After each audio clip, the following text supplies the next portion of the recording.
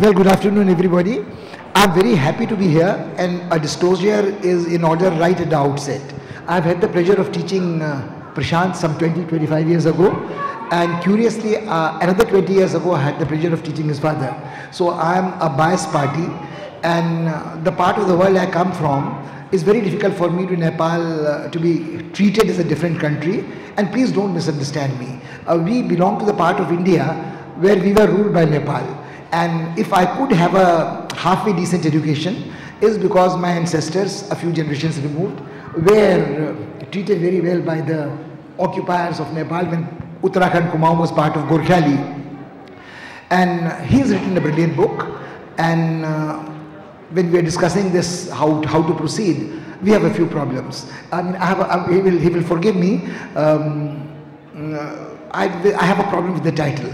He has written a scintillating, incisive, engrossing book, very stimulating, but the title says In Search of a Constitution. And the moment I think of this, I say, uh, is only Nepal the place which, who's searching for a um, constitution? What about us in India? We have had a constitution in place for almost six and a half decades. We have 100 amendments and the constitution may be very well there, uh, but we have the advent of Mr. Modi and BJP and a great divisive debate in this country that those who are ruling this country or those who are custodians of this country, constitution, who have taken an oath to protect the constitution are probably subverting it. Now, no sides taken at this moment, but will the uh, quest end for Nepal if the constitution is in place or will the problems of our variety uh, continue? One small thing before I pass it on to pass it on to Prashant. Uh, as I said of my Uttarakhand connection, for me Nepal is Doti just across Kali river which is not called Mahakali there as yet. It is a small fast flowing stream in Jhulaghat and Darchula.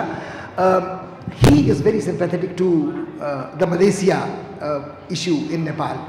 And my problem is that uh, we in Uttarakhand uh, where the boundaries blur, international boundaries blur be between uh, Nepal and India, are very worried about what happens to us, the hill folk, when the plains people come in. And I think that is an issue. And then again, I, I have a problem with the idea of Nepal, like I have the Khilnanian idea of India, the Nehruvian idea of India. Is there one India or is there a myth of India? Similarly, isn't there a myth of Nepal? Most of us think, in, or think of Nepal as Gorkha land. But what about the Rais, the Limbus, the Chetris, the Bhutias, the Sherpas, and so on? And from eastern Nepal to western Nepal, probably there is greater diversity than we think there is in this subcontinent. So I would, uh, without much ado, pass this on to Prashant. And I think uh, he can treat it any which way. There are no questions going to be asked. And how he passes it on to Kai is his headache because Kai spent uh, four years of his life in Nepal when his wife was with the World Bank there. And that is another issue which I keep thinking about uh, when I have nothing else to do or when uh, I force myself to think about who am I, am I Pahadi uh, with part loyalty to Nepal and he belongs to the Indian diasporic origins. Uh, what is the World Bank doing in Nepal? What has it been doing? What the Americans do in Nepal? What the Chinese do in Nepal? And there is a constant headache which the Indians have. And the session just before this guy was holding forth brilliantly about CIA and the wilderness of mirrors the Nepalese are very sensitive to what the RAW is doing in Nepal. And who's RAW in Nepal? My good friend Dr. Muni, who in his book uh, now is documented as having carried a letter to somebody. My another good friend and a student, DP Tripathi from JNU, who has friendships with um, half a dozen prime ministers, some presidents. Uh, so far he has not disclosed his friendship with the erstwhile royal family. But all of us have a take on Nepal. We should not burden you with that. And over to you, Prashant. Thank you so much, sir. Uh, I think we've hit the ground running uh, because uh, uh, Professor Pant has really dived into the issues. And, and the first question, the session's title, the book's title, by the way, is Battles of the New Republic, a contemporary history of Nepal. The session's title is In Search of a Constitution. And, and the first question that Professor Pant asked is, is what's, what's the constitution going to do? Will it make a difference? And, and I would uh, respectfully argue that, that it is going to make a difference. Uh, of course, there are many structural problems that will remain. It is, it is not the, it is not the one point solution for all ills, but uh, the one constant political thread in Nepal since 1951 has been the fact that the people have never got to write their own constitution. Uh, it has been written by constitutional experts like Sir Ivor Jennings came in 1958, or by uh, commissions constituted by palace representatives and uh, political parties. But there has never been an elected constitution Constituent Assembly. And so Nepal in some ways has never had a social contract of its own. And uh, this is an opportunity for us to draw up the social contract. And uh, drawing up the social contract is so important because Nepal is a very diverse country. It has uh, people from many ethnic groups. You know, it has many people from many political persuasions. Now, we are going through a civil war. And uh, this, this, the primary goal of the civil war by the end of it, the Maoist insurgency between 96 and 2006 was an elected constituent assembly. Uh, Nepal has gone through a fundamental transformation in the past decade. We have moved from war to peace. The Maoists now participate in open politics. We moved from monarchy to a republic. We moved from a Hindu kingdom to a secular state. And we are moving from a unitary to a potentially federal setup. Now, why do we institutionalize all this? The place to institutionalize all this in a democratic setting is an elected constituent assembly. And we struggle with it. The elected constituent assembly failed the first time around despite uh, its tenure having extended four times. Uh, there was a deadline, January 22 was a deadline and we're still deeply polarized between different political forces are deeply polarized and uh, the quest for a constitution uh, uh been, the constitution has been very elusive and this has been a difficult struggle. But I think the day it is written, what it will mean is that Nepal will finally have a social contract which it can own. And uh, why is it difficult? It is difficult because unlike the 47 to 50 phase in India, where you wrote your constitution, uh, there was an ideological and political dominance of one, uh, one stream of thought, which was leaders who emerged from the national movement, Nehru and so on. So there were contestations that happened in the CA, uh, but uh, there was also this ideological dominance of, uh, of one party and one, uh, one leader, or, or a few leaders.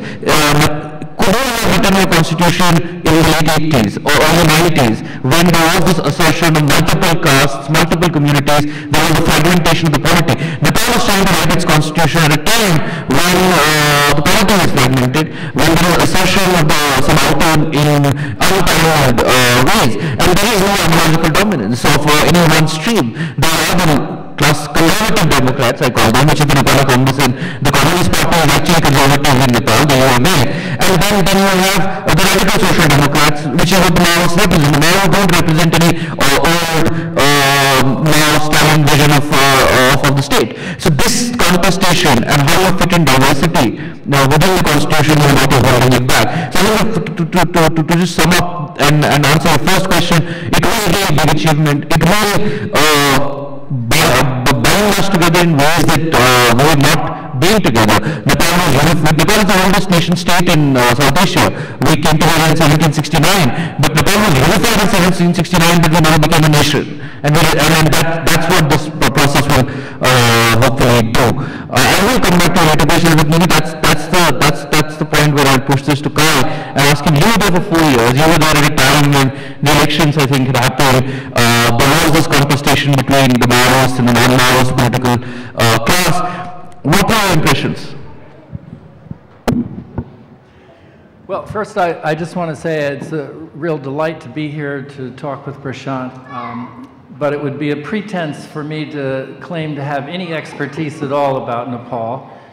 Uh, the only reason I'm here is that I'm an admirer of Prashant's, and I did live in Nepal for, from, for four years, from 2007 to 2011, covering many of the, the years about which Prashant is, is writing.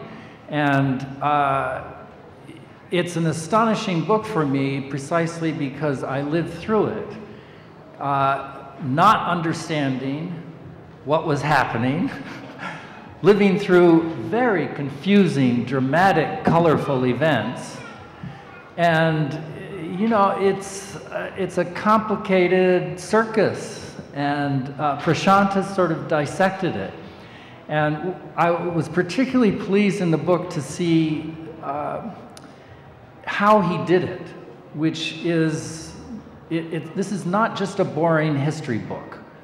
It, he didn't write it that way. He writes about himself. And so when he writes about the rise of the Madhesi influence during the constitutional process, he explains where he came from and the sort of domestic politics through his own life, and that makes it personal. Um, he also, what is really particularly astonishing to me is that, you know, uh, he, is able to sort of capture the characters. And these are very colorful characters who have a political odyssey that is quite Shakespearean.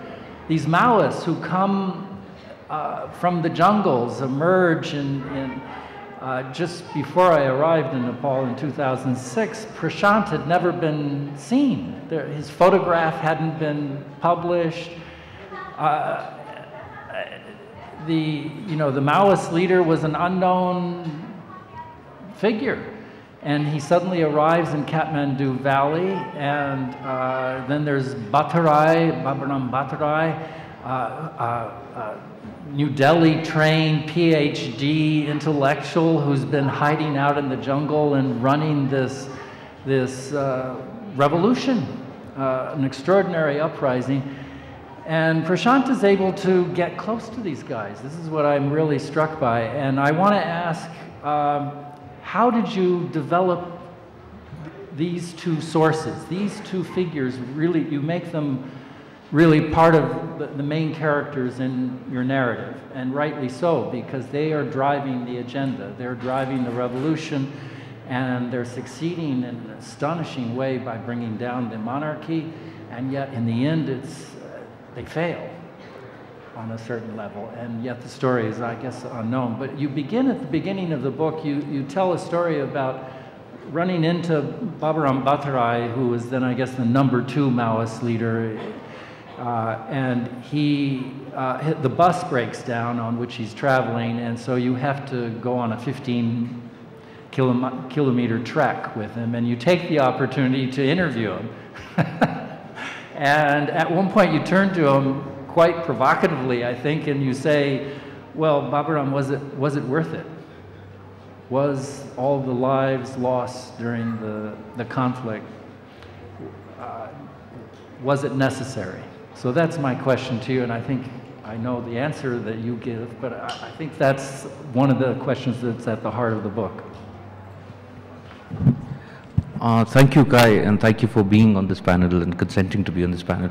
Uh, I, I, think uh, the, the perspective that you bring as a distant observer who was there uh, is is very valuable. I mean, the two, two, the two questions you ask in some ways. One is whether the war was worth it. When I asked that question to Baburam, and, and it comes pretty early on in the book, uh, he says yes.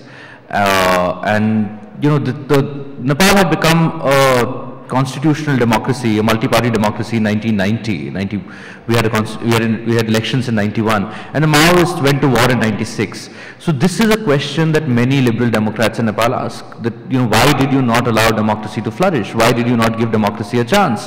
Uh, wasn't it too early to get so disillusioned? Uh, and uh, was it worth it? Now, uh, it's, it's a difficult question, and uh, I don't think there is a black and white answer.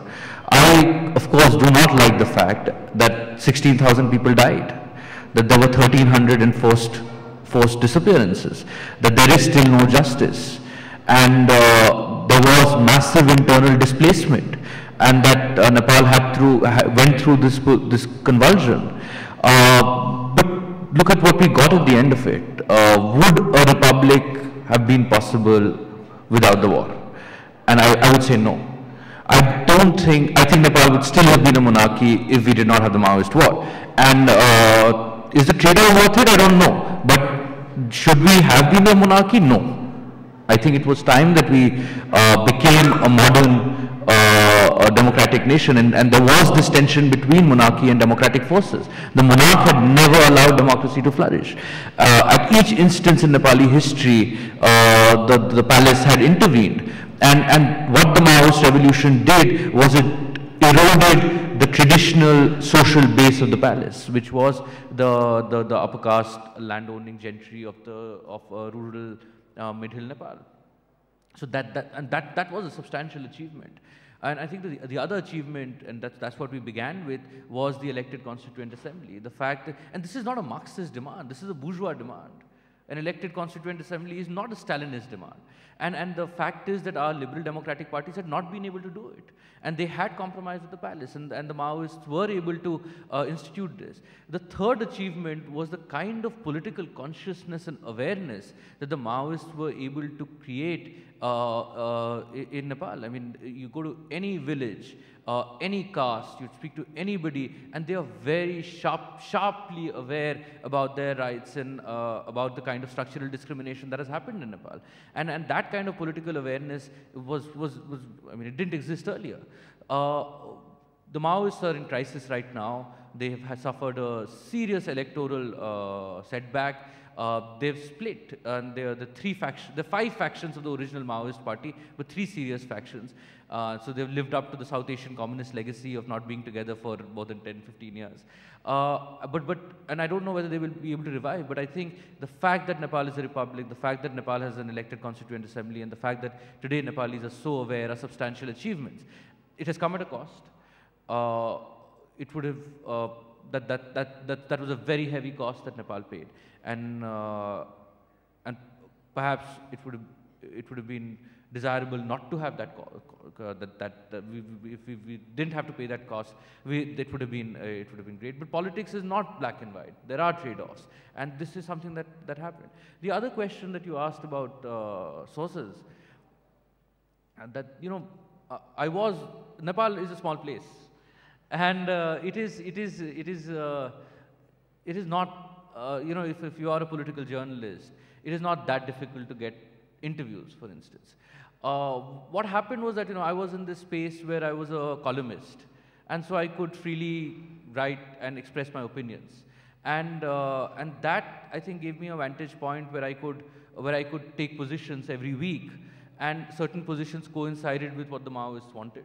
So sometimes it didn't uh, but that allowed me to develop a relationship with uh, leaders across the political spectrum and in the Maoist movement that perhaps a, a reporter working on a day-to-day -day basis uh, is not able to develop because that, you know, the reporter is calling him for a scoop, for a leader for a scoop every second day. And, and my, my conversations with them were about deeper substantive issues. They didn't know I was writing a book. Uh, the first time Baburam got to know I was writing a book when I was when I called him and asked him whether he would launch it. And so all the conversations that were happening, you know, I was I was writing about it and I was noting it, and some of that got reflected in my columns. But uh, I don't know whether it's deception, but I never told them that this would eventually be in a book. So all many of these conversations were off the record conversations, which I uh, I cheated a bit on them and I put it in the book. Well, I just want to emphasize for people who haven't read the book, though, that what an achievement Prashant has made. He is sort of the Bob Woodward, if you're familiar with the American journalist, the Bob Woodward of Nepal. Bob Woodward in America has written all these insider books with access to anonymous sources and, and to you know, presidents and vice presidents and senators, and he tells the sort of inside story. And I, you know, you're right, Nepal is a small place, and so maybe it's easy to get interviews, but you're dealing with the Maoists, a secret organization, a party with factions, and, and then you're dealing with people who are royalists, who uh, have a very closed-minded attitude, I should think about journalists. And, and as you say, they didn't know that you were writing a book, but it, in, in any case, it's quite extraordinary. Uh, and uh, it, it's a window onto, a very valuable window onto understanding contemporary ne Nepalese history.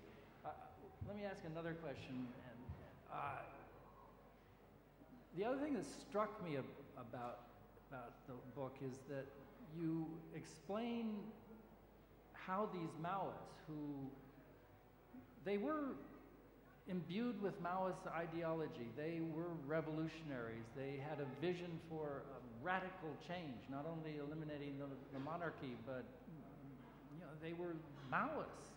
And yet they made the compromises in 2007 and then 2008 and participated in the elections.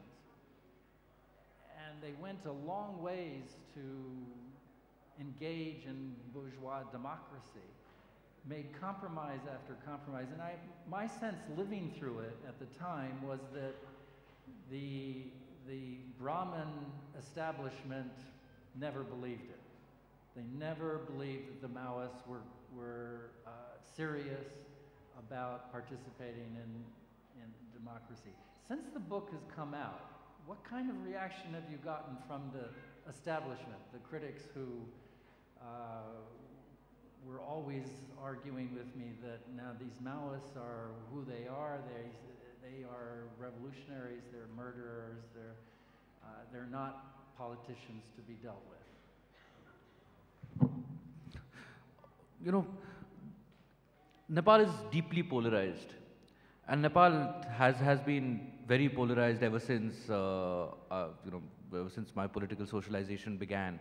Our first fault line was between monarchy and democracy. And uh, people took sides. And then there was this tension between Maoists and those who did not trust, trust them, the, the question that you raised. And then there was this uh, deep tension between the vision of Nepal that different people had, whether it should be a unitary uh, Hill Brahman led state or whether it should become an inclusive federal democratic state. Now, uh, this is a book that takes positions. I don't pretend to, uh, I have not, I have not written, I mean, I've tried to be objective in, when I recount what happened, but it, it's, a, it's a book that's sympathetic to the Maoist transformation. It is a book that's sympathetic to the idea of a federal inclusive democracy in Nepal. So uh, clearly those who do not agree with me uh, have not liked the book and uh, uh, and I've had some uh, nasty reviews, and I'm not a particularly popular person, I guess, in uh, many sections, especially the sections that control mainstream discourse in Nepal. But at the same time, it's been, it's, it, you know, I think there, there was a gap. There hadn't been a non-fiction English book on Nepali politics ever since Manjushri Thapa's excellent Forget Kathmandu. And, and this period had not been documented. So, uh, so the fact that this book does that, attempts to do that, uh, filled in a gap, and, and, I think that's why there has also been there have, there's also been a lot of positive reception. And you know, people have picked up what they want to pick up. You know, the the the, the, it, the book covers uh, the war, the book covers the peace process, the Madhesi movement, India's role and uh, at, at, at, some length I document how the Ministry of External Affairs and the research and analysis wing uh, work in. So even if some people have not agreed with some part of the book, they've picked up some other part of the book to justify their own political positions. Uh, so, so yeah, it's been, it's been, it's been a mixed thing. Uh, thank you for that very generous comment on, on, uh, on how I have been able to track the inside uh, um, Machiavellian uh, political uh, process in Nepal.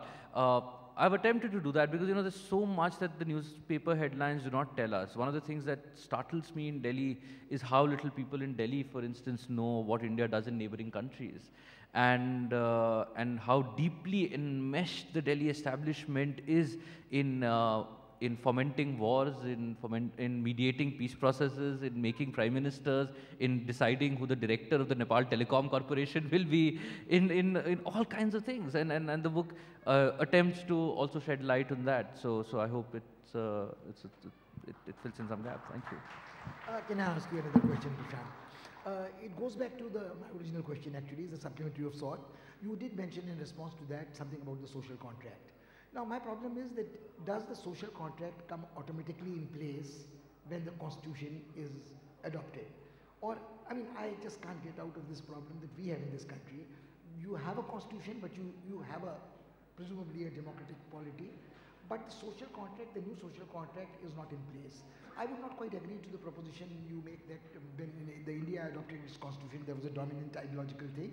Let's not also forget that when British left India, there were more than 550 princely states, which was not there. And we were not having the constitution adopted in 1950 uh, just because the Constituent Assembly was there. There had been a whole history of constitutional development since the British colonial rule was here. So the Government of India Act was part of it, the Morley-Minto Act was part of it. I don't have to go back to history lessons. But there was almost a hundred year plus history of constitutional development and electoral politics of sorts and the Government of India Act of 1935 and the rule two years. So that was one part. So I'm not so sure when the, there was consensus about major issues in the Indian constitution, it led to something. Then when it came to democracy in action, that consensus seems to have been lost. And I'm not talking of contemporary India. I think it was over by 1967-68 when the anti-Congress wave came and uh, Rajni Kothari's book became redundant. But let's get back to Nepal. Now you made two interesting, I mean, I think very correct observations that it, the, the Maoist revolution had the impact of uh, changing things forever. You have now a republic, a democratic and a secular democracy. But having declared yourself either India or Nepal a secular democracy, does it become secular? Does it become democratic? You may have free and fair elections like we have, but we have a deep, we Indians are very aware of it, we have a deeply flawed democracy. What Fareed would call imperfect democracy, illiberal democracy. But we are not democratic as a society. We just have a demonstration of free and fair elections and that's it. Nothing else changes as far as the rights of the people are concerned. You again made a very interesting um, and stimulating, as is your want, comment that now the people who had been exposed to Maoists were very sharply aware of their rights. So doesn't it leave a cleavage in the society where you are in limbo, the new social contract is not quite in place, constitution or not constitution, you also have a situation which is comparable to another neighbor of India, Sri Lanka, where the issue of revenge and reconciliation remains very much there. The Maoists may be given the credit, correctly so, of having removed the monarchy and removed the feudal regime and so on, but they in the process created wounds and the scar tissue is not quite uh, painless. So you still have a problem with, besides their fragmentation of uh, dealing with revenge and reconciliation. Related to this is a question, I mean, I, am sure you can retain everything. You've always been a very bright, good student. Uh, you talked about the book and it has a beautiful comprehensive view as I said. I found it absolutely fascinating. But this is a book written primarily to explain tumultuous years in Nepal to the world outside, beyond India. What happens, is there something like this? Or is the book part of the vernacular discourse with all its diversity in Nepal, which tells them in a fairly objective way, like you have done, dispassionate, without being involved, taking sides and so on, that this was what was happening around and this is what has to be confronted, coped with, and each one of us in our different situation has to make peace with that. That's one part which I wanted. And can it be done? Uh, good friend Kanak Mani Dixit has come out with that. Uh, the president of Nepal has come out with that others advising you, friendly countries advising you about what the constitutional uh, provision should be. So is this new social contract, can it be forged in isolation in Nepal or is it again again being played undemocratically essentially? Uh, lots of thoughts there. So the first thing is that uh, in terms of uh, the contribution to the vernacular discourse, uh, the book is being translated into Nepali and it will be out in two months. So I hope uh, I hope that and you know Nepali unlike, unlike India where English has become the language has, has become the is, is often the language of has has influence far beyond its reach. Uh, Nepali is the primary language of public discourse in Nepal, and uh, and I, I, the, I, hope the book contributes uh, to that. Uh, there has also been a lot of good literature this year in English, and uh, this book I see this book as a part of that. You know, there's an excellent book now out on the Maoist war. Uh, this is Aditya Adhikari's The Bullet in the Ballot Box, and it is the seminal account on the Maoist revolution. And and the, this book, my book, primarily deals with the peace process and what happened post their engagement in democratic politics. His book deals with the war, and I see it as uh, we're also very good friends, and I see it as a book that that compl we, uh, complements each other. So, and then there is another book which is a biography of Kathmandu by Thomas Bell, who used to be the Economist correspondent. So there is now a lot of uh, lot of uh, literature that's coming out of uh, uh, and about the political process.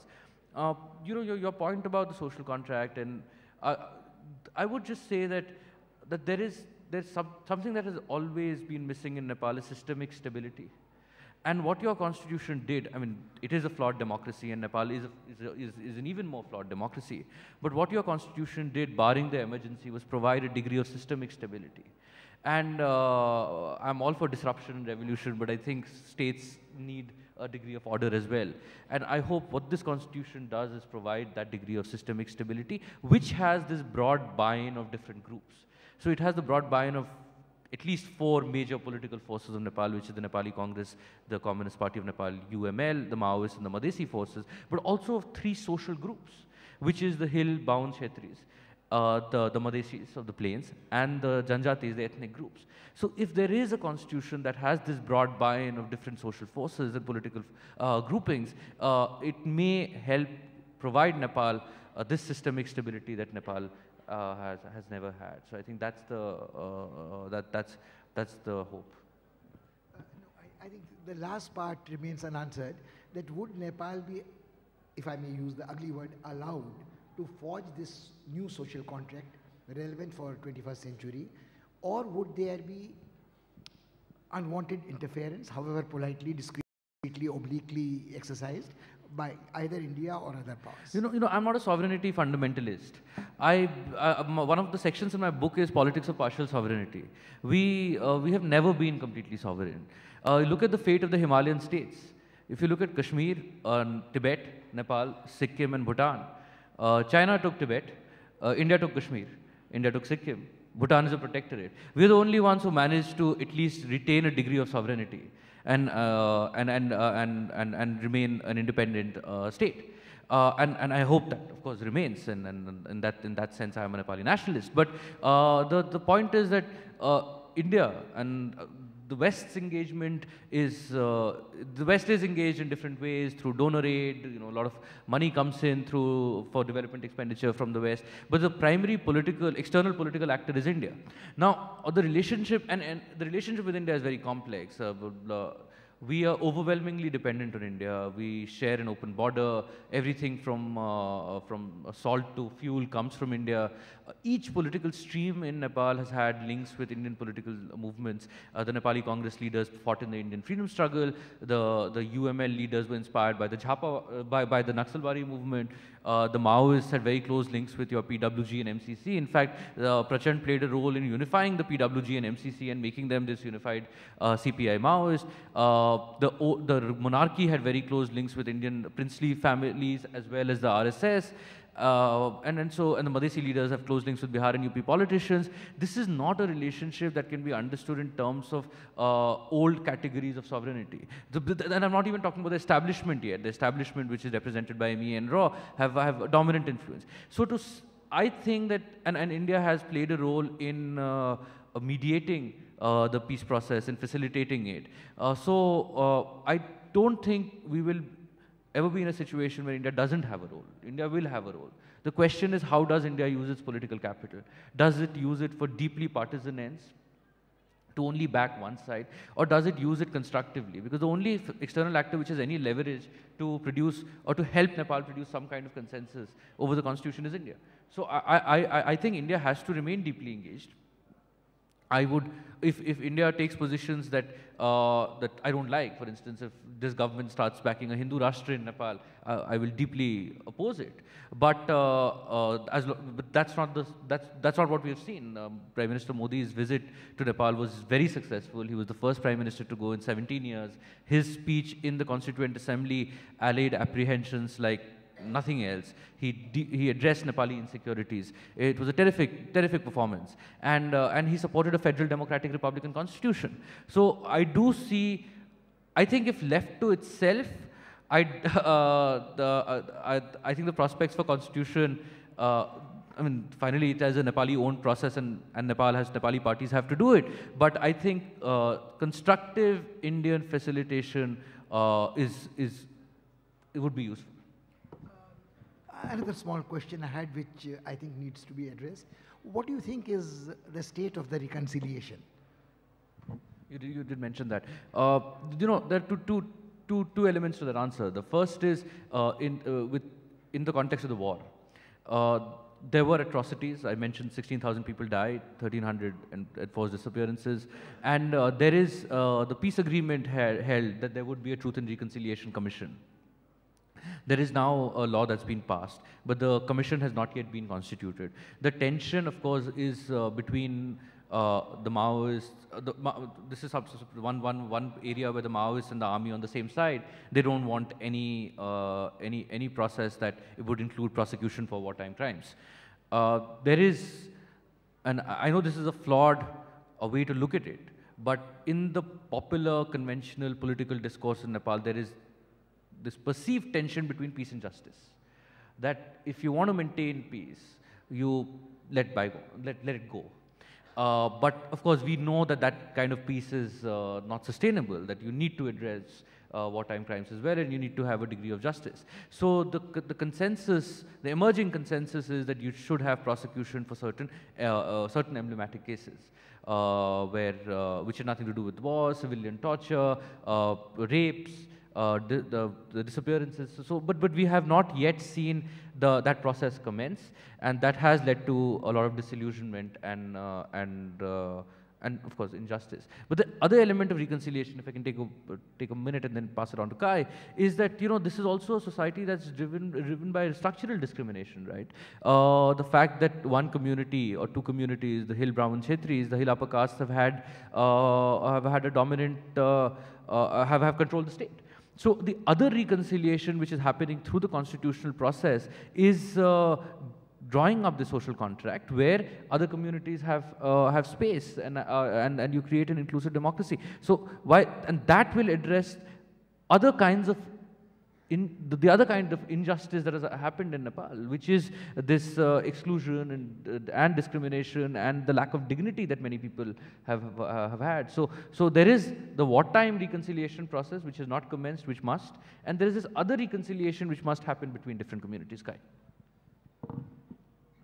I wanted to bring it back a bit to the end of the book where you have this rather extraordinary interview with Prachanda and you ask him, well, sir, can't hear? At the end of Prashant's book, he, he has this interview with Prachanda, the Maoist leader, uh, and he asks him, uh, well, sir, what mistakes did you make? And it's an extraordinary exchange as I see it. He answers rather bluntly and he lists three major mistakes. The, chief, the first of them, I think, was his resignation as prime minister uh, over the Katawal, General uh, Katawal's uh, defiance of, of his orders. And, and I think this is like a, a major turning point in my memory living through it and then the way you explain it. And of course, it involves India. We're sitting in India, and uh, uh, what is the residue of the fact that the, the Maoist leader made this mistake? I, I, and I think it, it's quite right. It was a mistake on his part to resign so easily. Only nine months in, in office or 10 months in office, and he, he walks away. And again, this is an extraordinary moment for a Maoist leader who's giving up power, which proves that he, they're willing to really engage in the, the bourgeois electoral game. Um, but the residue of this, you know, must linger both for, for all Nepalis. So I, I and, and, then I guess we need to quickly open up to questions, but what does this portend for the future? Do, does Prachanda or Bhattarai have a future in a democratic Nepal? Uh, you know, the, the, the, three mistakes that he that Prachand mentions. The first one is that you know the, the, the, Nepali political process and the peace process was based on a certain kind of domestic consensus, and that domestic consensus involved the Nepali Congress and the Maoists. Nepali Congress being the oldest democratic party in Nepal. That consensus broke when, after the 2008 elections, when Maoists emerged victorious, uh, the Maoists did not make Girija Prasad Koirala, a man we don't mention often now, but uh, an extraordinary leader who uh, shaped this peace process, passed away. And if he had not passed away, I think we would have had a constitution by now. Uh, Girija Prasad, they did not make him president.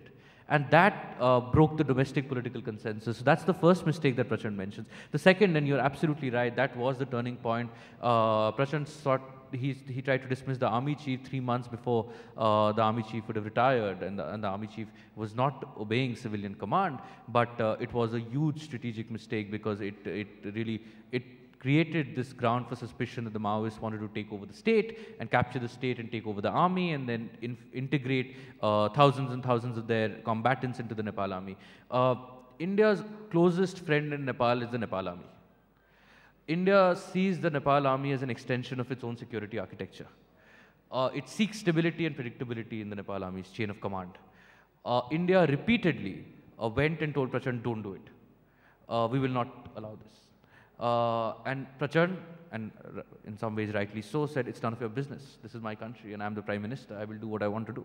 He was responding to a very radical base within his own party which wanted to show that we can do something different.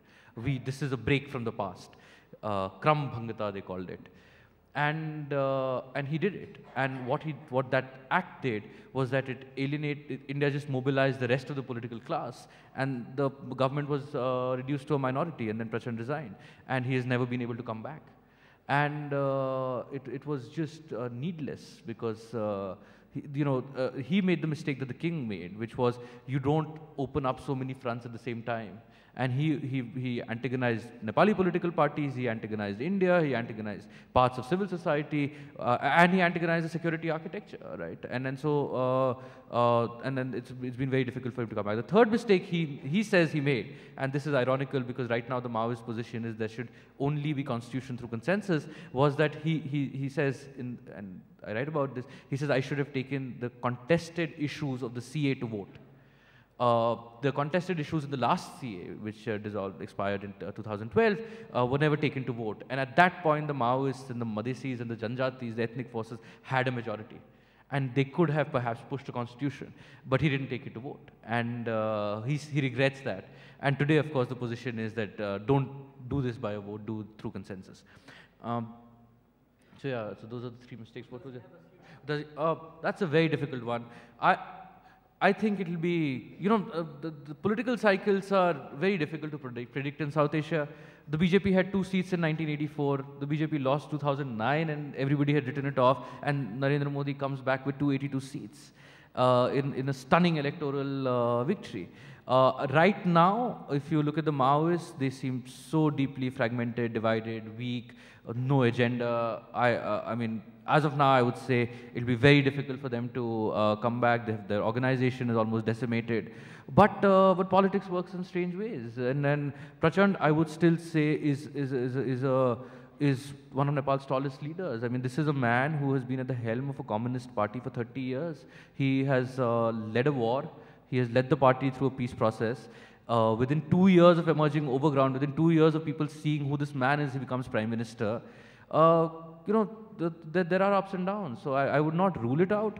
But even if the Maoists don't revive, I would say that uh, they, they contributed substantially to one phase of Nepali history and uh, helped create a republic in this constituent assembly, which was, which was, which was a great achievement. Uh, I'm sure there are a lot of questions, but before we throw it open to the floor, I'll allow myself a question. To be honest, two rather unrelated questions rolled into one. One is that let's wish Nepal well, and we believe that's a democratic secular republic. But democracy, in this country at least, is not synonymous with efficiency. It is not synonymous with lack of corruption. Both again divisive issues. So while the constitution might provide the institutional framework for stability, but actual implementation of the constitutional provision might lead to more instability and chaos like we are exper experiencing in some parts. The second question which maybe you would like to comment when somebody from the floor asks or you can take the question together with when they ask you from the floor. Uh, when Modi came to power in this country, he said that aspirational youngsters voted across caste, region, language, religion, etc. Now, do you see, your book primarily deals with the peace process and Adhikari's book deals with the revolution, but let's assume that we are talking of Nepal after that today.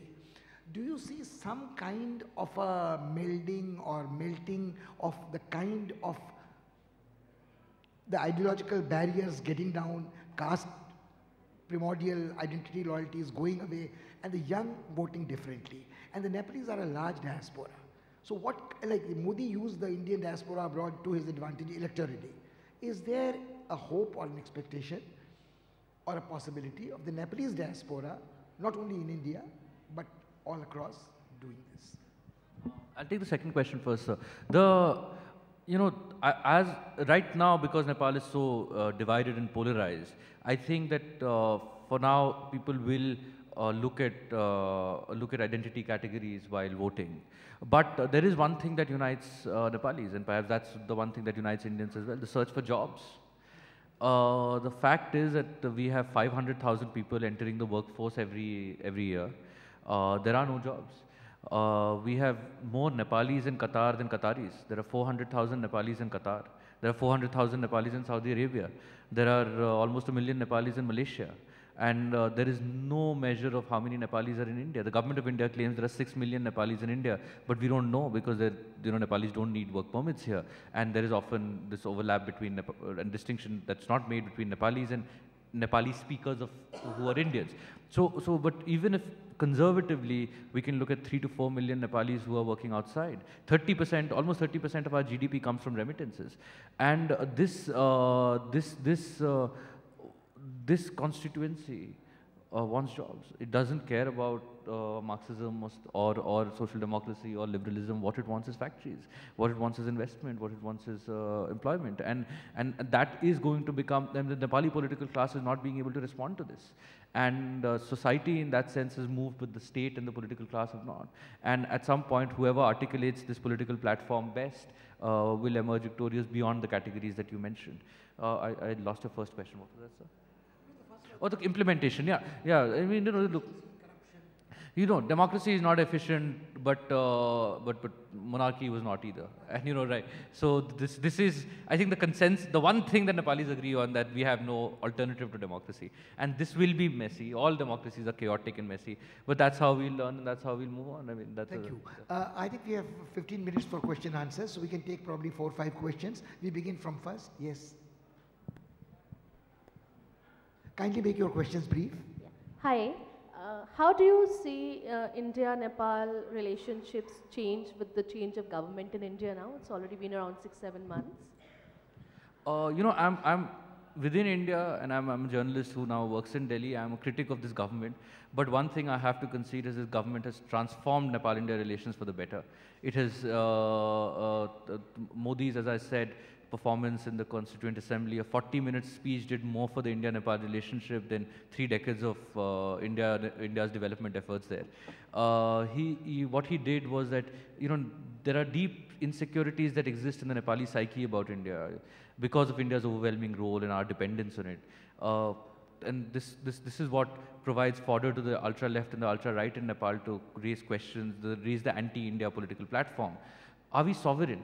That's a question that many Nepalis think about. And what did Modi do? He just went and said in the CA, Nepal is a sovereign country. And the entire Constituent Assembly applauded. It tells you so much about Nepali insecurity and all that was needed. That Nepal is a sovereign country and we will not interfere. Uh, Buddha was born in Lumbini, which, which happens to be in Nepal now. And, and there has been this Nepali conspiracy theory about how India wants to appropriate Buddha and how India never doesn't recognize that. What did Modi do? He just said Buddha was born in Nepal. This is the birthplace of, of, of, of Buddha. And, and the, the, our elected Constituent Assembly applauded. So, you know, uh, very basic things which seem so minor, but uh, uh, he, he did a lot in bridging the trust deficit. So, but beyond the symbolism of it, uh, this is the first year in the, in the last six months when there has actually been movement on, on that elusive hydropower cooperation between Nepal and India. We have, some say 83,000 megawatt potential, but definitely about 40,000 uh, plus uh, potential of producing hydropower megawatt. And uh, we produce 800 megawatts. Kathmandu is crippled the, during the winters with 16 hour power cuts. And finally, two projects have kicked off uh, with India. Uh, and so I, I, see, I see a huge shift and uh, I hope that the Prime Minister's attention, I mean, he's doing so many things, but he does pay attention to Nepal and he has, uh, uh, he's, he's, it's been a very significant uh, leap in the relationship. Thank you. Uh, there in the middle, the gentleman in the grey and blue square sweaters. We'll come back. We'll do one round and. Um, thanks for your comments, and I look forward to reading your book. Um, the professor mentioned the social contract which Nepal is trying to build, but that will not probably come without a political bargain, if you will. So my question has two parts. In the past few years, we saw several little battles, how to integrate communist fighters and which were reflective of a deeply divided polity. Now, in the next few months, whether aided by Mr. Uh, Prime Minister Modi's speech and his gentle goading, do you see a political bargaining emerge which could lead to an acceptable social contract? A political bargain either between Madhesis and the Hill and or whatever, some scenario for that. Um, you know that's the process we are uh, we are going through right now. And, you know the, there is the, the, what is blocking the Nepal constitution is the is the future of uh, and the shape of Nepali federalism, right? And uh, the, the, demand for federalism came in from the Tarai. Uh, the people in the Tarai felt long excluded from the power structure. And the demand was that there should be one province across the east-west plains, right, across east. Uh, that demand now has been moderated and they say that they want two provinces. Uh, in the east, one, which is which would be Madhes, and in the west, Tharuhat, which would be dominated by Tharus.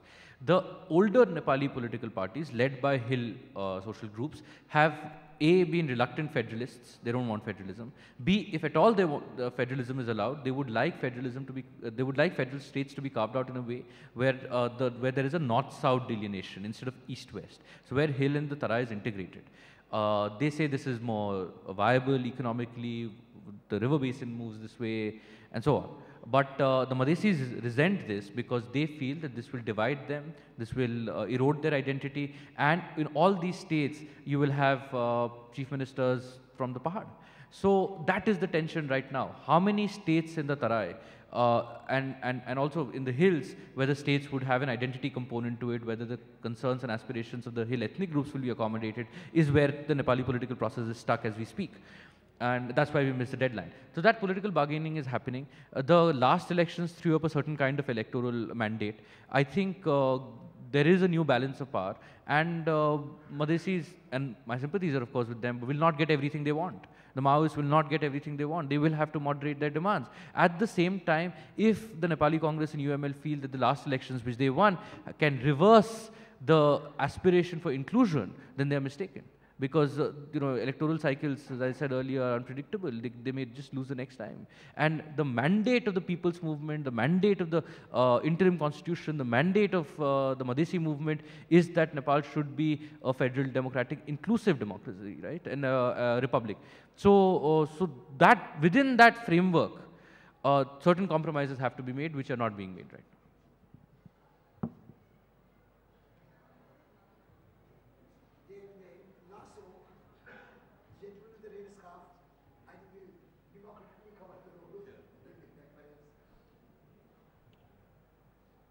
why, why do you think Nepal figures so high on the list of priorities for Mr. Modi?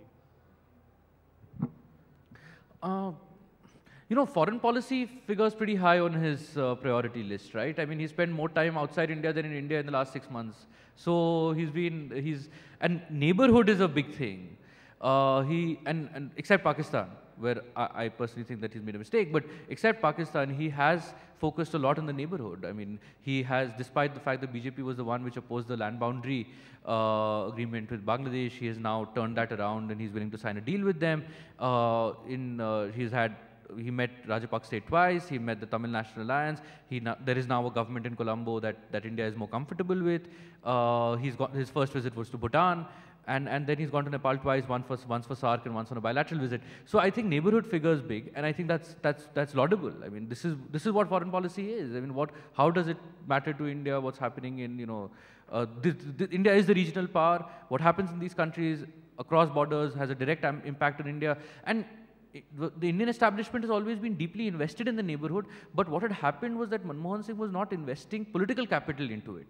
And he was not traveling to these places. He never made a bilateral visit to, uh, to Nepal, for instance. And, and uh, Modi is correcting that. The other thing that, that may be at the root of it, and this I'm speculating here, is that there is this cultural connect, right? And, and uh, it suits his Hindutva politics as well. To go to Pashupati Nath and come out in a saffron robe is uh, music to his uh, supporters here and uh, to go to Janakpur, which he was not able to do, and perhaps announce an Ayodhya to Janakpur uh, road track is again music to his Hindutva base. So there is this, uh, uh there is perhaps this worldview where Nepal is seen as an extension of the larger Hindu empire that RSS has uh, been dreaming of. Uh, so that may be at the root of it, but, but this focus on neighborhood is actually pretty good. Here, in the front, please. We promise that we'll come back.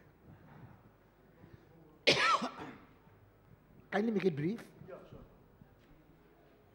Uh, while addressing the Second Constituent Assembly of Nepal, recently a Prime Minister uh, made a 40-minute speech. I mean, there was a whole 40-minute speech. He talked about sovereign democratic republic, but he never used the term secular. And as you said while uh, in your conversation a little, a little bit earlier, uh, that uh, uh, Nepal is very important for India, and India is definitely going to have a role there in the constitution making, finally. And, uh, and as what you said right now, that coming out of Pashupatinath and wearing a saffron dress. So what do we, what do we actually expect of Nepal? Uh, finally, when, whenever they table a constitution, what do we expect of Nepal? A, a Hindu Rashtra or a secular state? You know, that's a good question. The, the, the thing is that uh, the government has played it smart. The RSS wants Nepal to become a Hindu Rashtra again. Uh, they were very. They want India to become the Hindu Rashtra. Yeah, they want India to become a Hindu Rashtra. And uh, the, but the, what is happening is that at the organization level, if somebody from RSS goes to Kathmandu, and RSS has a big wing there, the Hindu their pracharaks in Kathmandu, their Ekal Vidyalayas run in Nepal. When they meet Nepali political actors, they say, "Kya kar diya aap logon ne yaar? Ye to Hindu Rashtra hai, kyun bana diya secular aap ne?" But the government does not use the BJP government has not used the diplomatic machinery to push this message. They have been, I think they have made this distinction, and I think it's a good distinction. They have never, Modi has never raised the issue of Hindu Rashtra. When Sushma Swaraj was in Kathmandu, and, and she was asked, and you know, people in Kathmandu also, to play to this gallery, to play to the new gallery in Delhi, uh, say that let's make this a Hindu Rashtra. Sushma Swaraj said that I have taken oath under a secular constitution, and I am not in this business. So the government is not doing this, and I think that, and but, and, but the RSS is, and, and, this, what, what, what the Sangh says is that uh, their effort is to create awareness and consciousness, and at some point they hope that this becomes a Hindu Rashtra.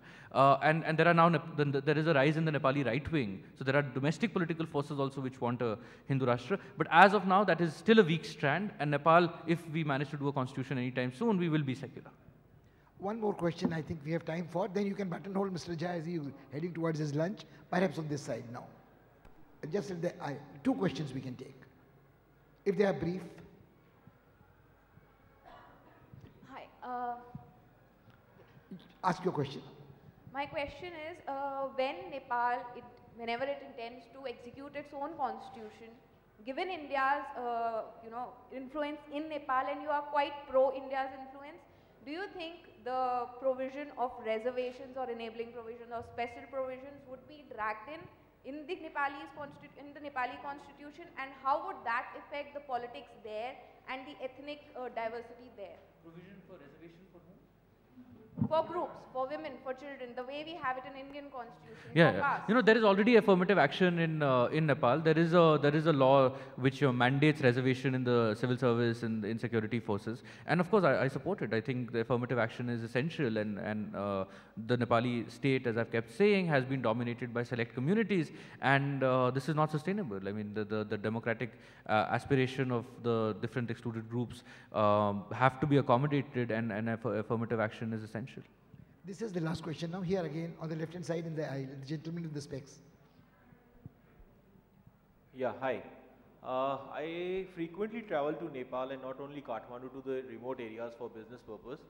Uh, what I have seen in last uh, two, three months recently that uh, there is a, uh, this, I want to talk about Maoist, this, uh, that there, there is a drift and the split between Prachand between Viplav and Viplim saying that I'm going to the jungles and he's asking donations for the arms and uh, everything. So do you really see this drift and the split is serious or it could be a, a source of like a, a, policy also that Prachand being sitting in the assembly and the politics and Viplav going to the jungle and they are talking, uh, taking this, you know, the whole thing. And secondly, I would like to ask, uh, but how do you think Chinese influence in past uh, in Nepal and uh, Maoist relationship with the Chinese people and their this thing on this constitution? Uh, both good questions. There can never be a discussion on Nepal and India without asking the China question. Uh, I'll take the first one. Uh, you know, the, the, split is serious. It's not a good cop, bad cop act. It is, it is a serious split because it's driven by the fundamental ideological tension within the Maoist movement. Was it right to engage in open democratic politics and institutionalize the achievements that were possible, which is republic? Or should they have continued on the path of the protracted People's War? The orthodox Maoists still believe they made a mistake. They point to the lack of a constitution, they point to the electoral setback, they point to uh, the weaknesses of the movement to say, look, you made a mistake. You should we should never have got into this cesspool of parliamentary democracy. And so this is Biplav's line. Baburam Bhattarai and Prachand's line is that this was what was uh, achievable at that point. A military victory was not possible. The international context would not have allowed us to take over Kathmandu ever. And so these are substantial achievements. The republic is a substantial achievement. Let's write a constitution. This is a fundamental tension. If we don't do a constitution, then the extreme left becomes stronger. So the constitution is an important thing also to uh, to strengthen the more moderate line within the Maoists. So that's the that's the, that's the answer to your question. Uh, the second the second thing about China. Look, China's engagement in Nepal is growing and will grow. India has to live with it, and India has to find ways to cope with it. If China's influence in Africa is growing, China will, of course, engage with its neighbor. We are a neighbor of China. We have a, we have a very long border with China. And we have a border with China in the areas where they are most vulnerable, which is Tibet. China's interest in Nepal is driven by its Tibet policy. There are 20,000 Tibetan residents in, China, uh, in Nepal. This is the route that Tibetans use to come to Dharamshala, go back the Chinese, and that the, the, March 2008 was a turning point when there were free Tibet protests that erupted both in Lhasa and in Kathmandu. In Lhasa, they were able to quell it. In Kathmandu, it continued. International media arrived there, beamed images live, and the Chinese got very alarmed. So the Chinese influence there is driven by the need to have leverage over Nepali over the Nepali government and uh, over Nepali political parties so that they can call up the Nepali any party which is in power and say crack down on the Tibetans. That is the fundamental objective of the Chinese in But they will of course deepen economic engagement, they will deepen uh, political, uh, political engagement. The question is, is the Chinese strategic objective in Nepal, does it conflict with India's? And I would argue no. China also wants stability in India and India also, uh, in Nepal and India also wants stability in Nepal. Uh, what is not known is that the Chinese and the Indian ambassador in Kathmandu meet every two months for lunch. They have, they, they, they, you know, when, when elections were delayed in Nepal, both of them said, have an election. Both Mr. Modi and the Chinese say, have a constitution by consensus now. So there are, there are, of course, spheres when there will, there will be conflict and competition, but there are also spheres when India and China can work together. India, look, China will increase its influence across South Asia. Delhi will have to find ways to cope with it. Thank you. It's been a thank fascinating you. discussion. Thank you, Prashant. Thank, thank you, you, sir. Thank you, Kai. And thank you, folks.